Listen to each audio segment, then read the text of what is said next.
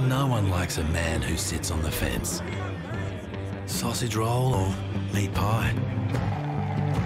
Do you go right or do you go left? Men shouldn't dance around decisions. See, every fence has one thing two sides. So pick one. A man should have the courage of his convictions. He doesn't fear fear. Because the right decision is to make one. Just a meat pie, thanks. Sauce? Yeah.